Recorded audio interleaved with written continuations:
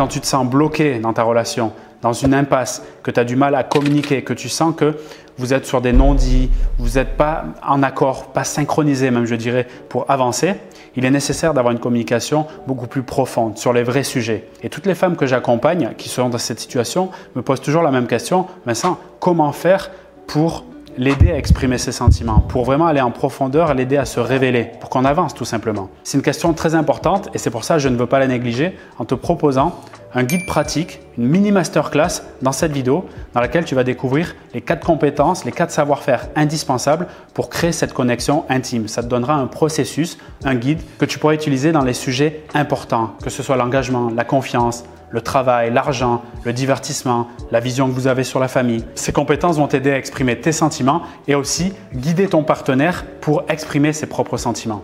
Le but, c'est de t'en servir en fonction de ce que tu vis maintenant. Demande-toi par rapport à ce que tu entends, qu'est-ce qui est le plus pertinent à utiliser maintenant dans la conversation que vous devez avoir tous les deux, celle que tu sais qui est importante. Pour t'aider à le faire, je me suis basé sur les travaux de John et Julie Gottman, des chercheurs en amour. Ils ont étudié plus de 3000 couples en 30 ans, je crois, même un peu plus, avant de te les partager pour que cette conversation soit beaucoup plus efficace, c'est-à-dire qu'il y a vraiment une osmose qui se met entre vous, une fluidité. Il y a deux prérequis indispensables. Le premier, c'est un état d'esprit ouvert et un désir de curiosité, de comprendre l'autre. Je rajouterai même, si possible, un peu d'humour. Nous sommes dans une conversation qui est intime, qui est profonde, mais ça ne veut pas dire qu'elle doit être lourde et pesante. On peut la rendre légère et agréable. Commençons par la compétence numéro 1.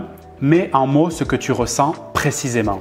Essaye de dire je me sens acceptée, comprise, énervée, rejetée, négligée, trahie, déprimée, seule.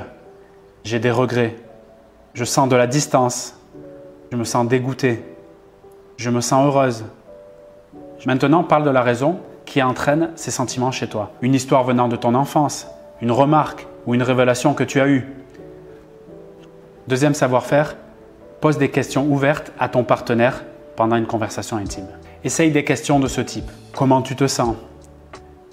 Quels sont tes besoins? Qu'est-ce que tu veux vraiment? As-tu des sentiments partagés? Quel choix important tu as besoin de faire? Que disent tes valeurs par rapport à ces choix? Quels sont tes buts, tes ambitions? Comment tu pourrais en prendre la responsabilité dans cette situation? Et tout ce que je te partage là peut te permettre aussi de développer avec créativité d'autres formes de questionnement. Saisis au vol ce que tu juges être les plus pertinents pour appliquer dans ta situation maintenant. Troisième compétence, faire des déclarations ouvertes, exploratrices pour l'aider à ouvrir son cœur et à partager ses besoins. Pendant la conversation intime, essaye de prononcer ces affirmations d'exploration. Aide-moi à comprendre tes sentiments un peu mieux. Dis-moi en plus. Rien n'est plus important pour moi maintenant que de t'écouter.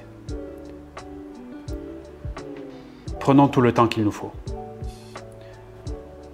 Dis-moi ce que tu penses de tes choix. Quelle est la chose la plus importante qui compte pour toi? Qu'est-ce qui te chagrine le plus en ce moment?